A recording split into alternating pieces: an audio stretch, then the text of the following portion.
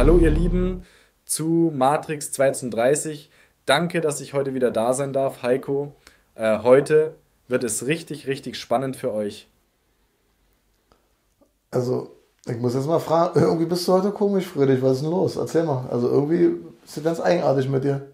Oh! Hallöchen, ihr Lieben. Gerade habt ihr, ja, meinen Zwillingsbruder, sag ich mal, gesehen. Ähm, was er euch kurz erzählt hat, hier die zwei, drei Sätze, war nicht ich persönlich, sondern ähm, ja, das war alles von einer KI erstellt, künstliche Intelligenz. Sowohl das Video war nicht echt, als auch die Stimme, die ihr gehört habt, war auch nicht echt, sondern das habe ich vorhin mal kurz in fünf Minuten entworfen am PC, um euch heute mal eine Einleitung zu bieten, äh, die zeigt, was mit ganz wenigen Klicks mittlerweile schon möglich ist. Ist natürlich noch nicht perfekt. Wenn ich mich jetzt einen halben Tag ransetzen würde, würde da ja keinen Unterschied mehr sehen. Und wenn das Leute machen aus Hollywood, die schaffen es auch in fünf Minuten schon mit den richtigen Programmen, dass man den Unterschied nicht mehr sieht.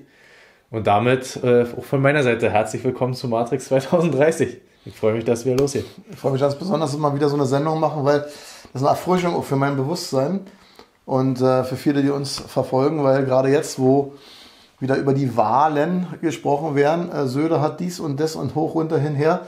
Also wenn man jetzt mal einfach Bewusstsein verändert und sagt, äh, hat der das gesagt? Waren eigentlich überhaupt Wahlen? Immer so grundsätzlich. Wenn man also 0, nichts, das hatten wir vor kurzem ja mal ein Beispiel gemacht mit diesem Tagesthemensprecher. Mhm. Hast du das Beispiel gemacht? Was der nie gesagt hat und wurde eingeblendet. Was heißt denn das jetzt überhaupt? Wie wollen wir unsere Zuschauer mitnehmen zu dem Thema? Was, was ist jetzt deine Intention, mhm. warum wir das heute bringen? Naja, für mich ist ja immer das Spannende daran, dass man, deshalb auch mal bei mir der Spruch Bewusstsein schafft Freiheit, dass man sozusagen eine Ebene höher geht ja. Ne, und wie, wie, du schon angedeutet hast, rausgeht aus diesem nur politischen und äh, diesen ganzen kleinen Baustellen, die aus meiner Sicht ja nur Ablenkungsherde sind. Mhm. Und an diesen Beispielen sieht man jetzt, alles, was ich auch in meinem Buch, das Ende der uns bekannten Welt, geschrieben habe, holt uns jetzt alle ein. Ne, also die Sachen passieren so ja teilweise noch schneller, als ich selber gedacht hätte. Also aktuell jetzt wirklich im Wochentakt, dass die Dinger rauskommen. Und ähm, auch im Fernsehen gab es jetzt neulich die erste Show, ich weiß jetzt gerade nicht mehr, wert war, aber wo jemand ähm, sozusagen eine Jubiläumsshow hatte bei ZDF mhm. und sich selber in einer Talkshow interviewt hat, 30 Jahre früher, also jünger, sozusagen, wo sie mit KI das gebaut haben, dass der 30 Jahre jünger mit in der Talkrunde sitzt, sozusagen. Ne? Krass. Also auch da wird das sozusagen jetzt langsam genutzt. Und daran kann man eben, wenn man das weiß, dass es das gibt, wenn man weiß, das wird jetzt immer mehr, kann man sich umso mehr auf sich selbst besinnen, umso mehr rausgehen aus dieser medialen Blase. Ne? Also Mediendiät hat unser äh, bei Freund Olaf damals schon immer, als ich ihn kennengelernt habe, gesagt, das ist das Beste, was man machen kann, Mediendiät. Und mhm. äh, dem kann ich mich nur anschließen. Einfach mal sagen, man macht das mal alles aus und geht wieder mehr in die Natur, auch die Dinge, die du in deinem Spirit-Format immer ansprichst, um sich selber zu finden.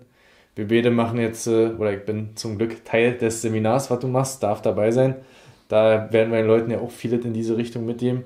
Mhm. Und das ist immer wieder mein Appell, ne? Und deshalb habe ich auch ein Buch ich habe sie jetzt gerade äh, in Englisch übersetzt, unter anderem auch mit viel künstlicher Intelligenz als Hilfe. Also ich, ich selber, wie gesagt, kann euch sagen, das ist schon sehr, sehr weit fortgeschritten und geht Woche für Woche richtig krass weiter. Ähm, und habe dabei auch wieder ja, mein Buch quasi selber nochmal durchgelesen und äh, kann auch nur sagen, die letzten drei, vier Kapitel, wer zu Hause liegen hat schon, lest die mal nochmal. Ne? Da steckt ganz, ganz viel drin, wo man sich dann auch fragt, wie geht's hier weiter, was kann ich tun? ich muss sagen, da sind wirklich viele praktische Tipps auch drin, wie man das Ganze für sich selber umsetzen kann. Ich höre immer noch, wie gesagt, im Auto, da ist halt eine SD-Karte, eine kleine, regelmäßig rein in dein Buch. Ich mache es mittlerweile so, habe es vier, fünf Mal schon durchgehört. Das sind wirklich mal einzelne Kapitel, wie Metropolis, was ich dir erzählt habe, was ich sehr mag, mit Fritz Lang, die Erklärung. Äh, DNA finde ich hochspannend, weil es hat dein Lieblingskapitel. Mhm. Und ich muss dazu sagen, wenn ich so an den Markt mal links, rechts, oben, unten gucke, befasst sich ja gar keiner damit. Also das ist ja unsere Intention schon immer gewesen, zu sagen, wir wollen ein bisschen weiter voranstreiten, als weiterhin wie andere Kanäle, auch wenn die jetzt mal viel größere Aufrufzahlen haben als wir, die aber immer nur meckern und sagen, äh, der hat jetzt das gesagt, die Grünen haben wieder erlogen, uns betrogen und jetzt ist da wieder ein Krieg, da ist da hoch runter. Äh, bringt keinen Menschen weiter. Aber wenn Leute sagen, ich will mich aufregen, ich, wo man sich dann fragt, wer wisst du denn, ob die Bombe gerade da eingeschlagen hat? Woher weißt du das? Ich sag nur What's the Dog damals, ist ja legendär, der Film 97 kam da glaube ich raus mit äh, Robert De Niro und Dustin Hoffmann, wo damals schon, da war Internet noch in Kinderschuhen gezeigt worden ist, wie ein Krieg inszeniert wird, aber nur in Hollywood vorher gedreht, damals in Kosovo, wie der Zufall jetzt so will, kurz vom Kosovo-Krieg übrigens. Und das muss jeder für sich selber aus meiner Sicht ausmachen. Nochmal jetzt kurz zum Seminar. Wir sind leider ausgebucht. Ähm, kann nur sagen, hm, ich freue mich ganz besonders, dass viele von euch vorbeikommen und sagen, hey, ich möchte mehr von diesen Themen erfahren, aber nicht nur erfahren, sondern praktische Übungen machen, um wirklich nicht nur in meine Mitte zu kommen, sondern wirklich an meine Gottesessenz zu kommen. Für alle anderen, ich weiß, wir haben viele Nachfragen, wir werden es nochmal machen. Also nicht nur einmalig für die, die jetzt nicht dabei sein könnten. Wir haben derzeit zwar eine Warteliste, da stehen schon einige drauf. Falls aber nur, wenn zwei, drei Leute krank werden sollten, mehr geht da nicht mehr. Gut, jetzt zurück nochmal zu diesem Thema. Was motiviert dich überhaupt da, dich immer weiter mit der Sache zu befassen?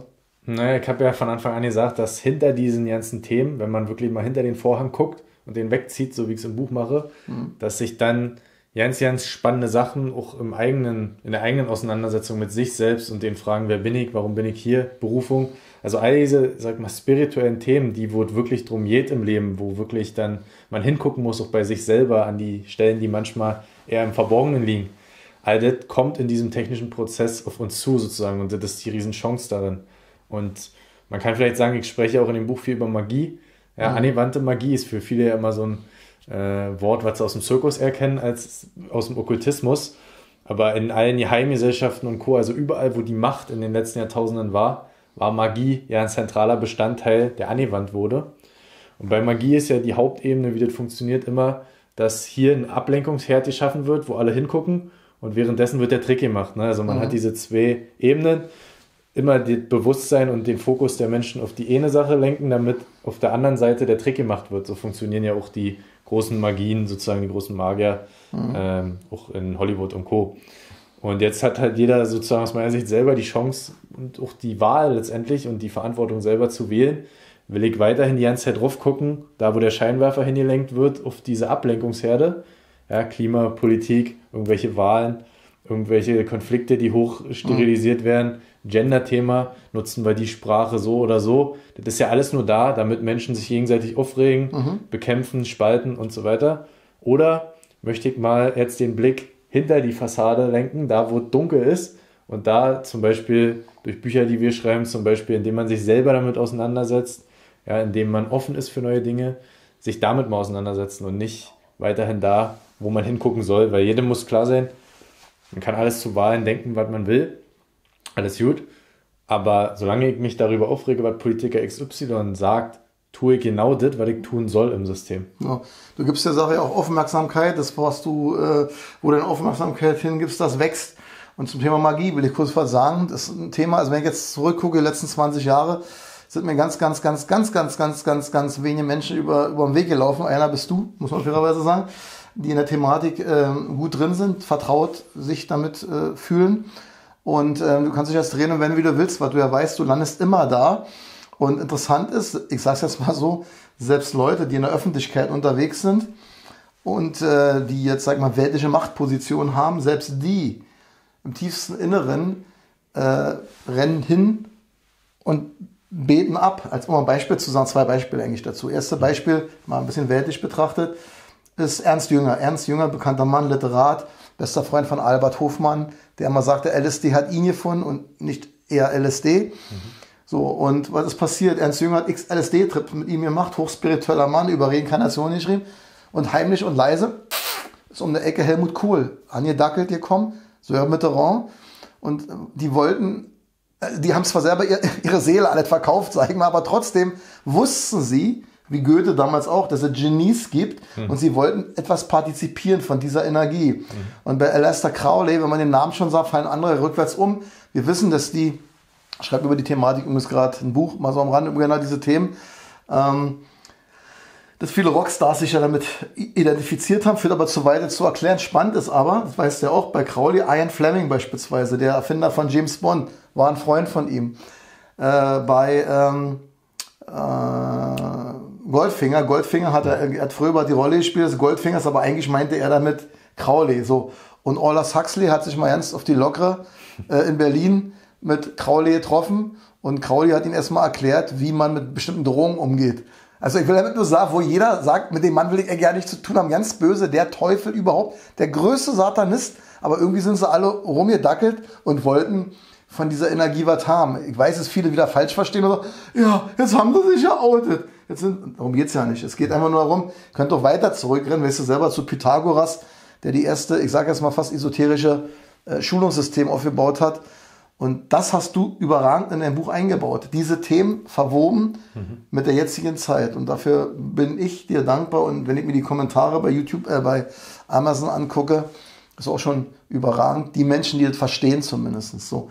Hast du noch eine Schlussbotschaft heute zu diesem Thema? Weil wir wollen das ja nicht immer lang machen, kurz und knackig ist unsere Intention. Ja, ja kann mich dem nur anschließen und sozusagen sagen, dass die viele Leute, glaube ich, haben nach diesem Erkennen, Erwachen, Verändern, was du ja geprägt hast auch, haben erkannt, dass bestimmte Sachen ablaufen, um sie zu manipulieren.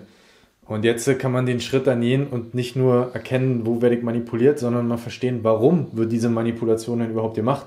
Mhm. Ja, weil die Leute, die da, sag mal, auf der offensichtlichen Ebene beteiligt sind, die haben mehr Geld als jemals ausgeben können, die haben alle Macht, die haben ihre Ruhe, die haben eigene Inseln. Warum macht man das alles, ja? Genau. So, und das äh, steht zum Beispiel im Buch drin, oder man kann zumindest seine eigene Antwort darauf finden, weil es geht nicht darum, das vorzukauen, sondern dass jeder zur Erkenntnis kommt. Und in diesem Sinne würde ich sagen, für heute reicht die Geschichte und wir können, wenn du magst, ja hinten raus nochmal einblenden mit der KI, ähm, was man da auch so machen könnte, wenn jemand sozusagen schlechte Informationen verbreiten würde mit deiner Stimme. Hallo ihr Lieben, ich muss euch heute mitteilen, dass ich meine Meinung geändert habe. Bitte lasst euch impfen und hört auf die Regierung. Im Endeffekt ist Karl Lauterbach doch ganz okay. Und ich habe mich leider geirrt. Ich hoffe, ihr verzeiht mir und bleibt trotzdem treu an meiner Seite, euer Heiko. Genau. Aber Fleisch und Blut, könnt ihr mir glauben, ist der echte Friedrich. Aber in Zukunft oder demnächst kann man das nicht mal glauben. Da könnte es sagen, vielleicht stehen wir ja gar nicht hier, sondern das haben wir nur durch die KI erschaffen. Seid gespannt. Bis zur nächsten Sendung, freue mich auf euch. Alles Ciao. Liebe. Sichere dir jetzt eine der letzten Ausgaben der brisanten Neuerscheinung Das Ende der uns bekannten Welt und lerne die geheimen Hintergründe der aktuellen Veränderungen unserer Welt kennen. Mit Kapiteln wie DNA, die hohe Dimension in uns, Genetik, von den Toten auferstehen, Mind Upload, die Digitalisierung der Spezies, der Übermensch, Hitler und der Traum der Knechtschaft und vielen weiteren spannenden Enthüllungen unserer aktuellen Zeit. Dieses Buch ist wahrhafter Sprengstoff, der die Lügen der Machthaber gnadenlos entlarvt und zum selbstständigen Nachdenken anregt. Doch Vorsicht! Die herausfordernden Kapitel eignen sich nur für Menschen, die bereit sind, der Wahrheit ins Auge zu blicken und ihr Weltbild zu hinterfragen.